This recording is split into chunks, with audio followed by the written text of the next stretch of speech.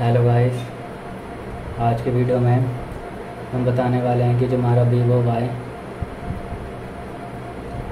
Vivo Y two hundred pro phone है तो Vivo Y two hundred pro phone की settings पे जाकर कैसे अपने फ़ोन में अदर फ़ाइल वगैरह को कैसे आप डिलीट कर सकते हैं अपने फ़ोन में तो आज हम बताने वाले हैं कि अदर फाइल्स को आप डिलीट कैसे कर पाएँगे और कैसे डिलीट कर सकते हैं अदर्स फ़ाइल को अपने Vivo Y two hundred pro phone में तो बताने वाले हैं। तो वीडियो स्टार्ट करने से पहले हमारे चैनल को लाइक करें सब्सक्राइब करें, साथ में बेल आइकन दबाना ना भूलें तो आइकन शो हैं तो उसमें से आपको स्वाइप करना है। स्वाइप करते ही ऑल आइकन ओपन हो जाएँगे हो जाएँगे, जिसके ज़रिए आप अपने फ़ोन में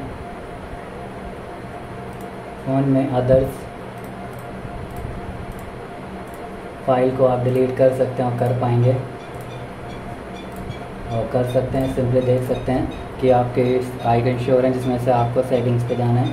क्लिक करते ही फ़ोन की सेटिंग्स है ओपन हो जाएगी, जिस पे जाकर अदर फ़ाइल को आप डिलीट कर सकते हैं और कर पाएँगे। सिंपली सेटिंग शो हो रही है।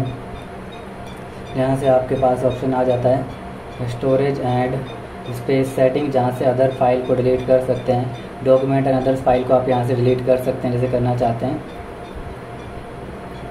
देखते हैं कि डॉक्यूमेंट अदर्स फ़ाइल भी आ चुकी है, जिसको सेलेक्ट करके आप इस तरीके से ट्रैश कर सकते हैं और डिलीट कर सकते हैं। अदर फ़ाइल डिलीट हो जाती हैं।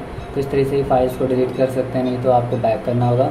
बैक करते ही फ़ाइल पे जाते हैं फ़ाइल पे जाकर यहाँ पर अदर स्टोरेज का ऑप्शन आता है, जहाँ पे देखते हैं अदर स्टोरेज ड्राइव पे जाकर अदर फाइल्स को आप यहाँ से स्टोरेज के ज़रिए भी डिलीट कर सकते हैं और कर पाएँगे अपने एक्टिविटी फाइल्स वगैरह देख सकते हैं और यहाँ से इसका यूज़ कर सकते हैं ऑनलाइन आके और फाइल्स को डिलीट कर पाएँगे।